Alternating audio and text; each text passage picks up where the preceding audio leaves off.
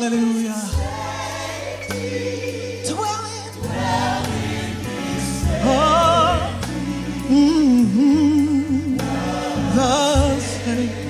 Woo. He's got your back.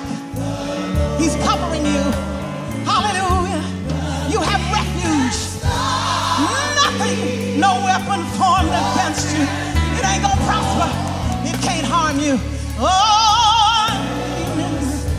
safety, the safety, the safest place in the whole wide world is in the will of God. So get in His will.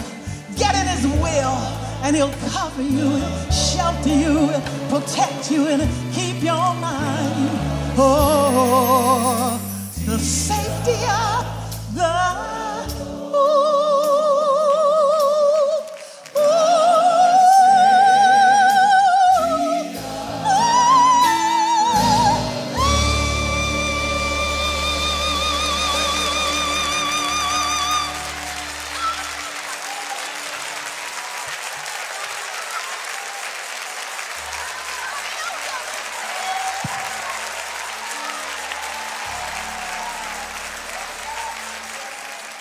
When you really get to working for God, nobody better not mess with you.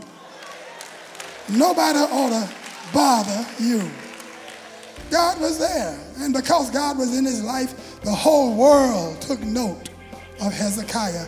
He and the nation of Judah were the talk of all of the world. Did you hear about what God did for the Jews? Did you hear what God did for Hezekiah? The next powerful world nation after the Assyrians was the Babylonians. The Babylonians heard about what God was doing for Hezekiah. They especially heard about what God had done to that sundial. Because the Babylonian supreme God was Ra, the God of the sun. They worshiped the sun, they believed in the sun. But if Hezekiah's God could make their God go backwards, wanted to know more about this thing that God had done. And so a group of them traveled to Jerusalem to visit Hezekiah. Hezekiah was so caught up in his newfound notoriety, he was so impressed that they were impressed. The Bible says the ambassadors of the princes of Babylon were sent to inquire about the wonder that was done in the land.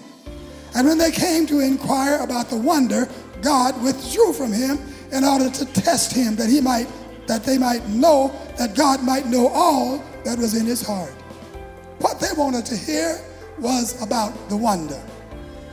Will you tell folk, tell your neighbor next door that listen, what God wants to hear is about the wonder.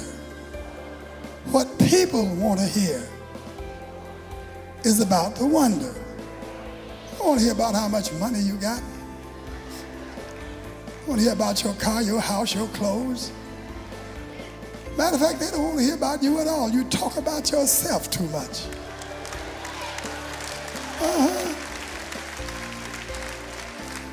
People get tired of you real quickly when the subject of every conversation is you. Can I preach today?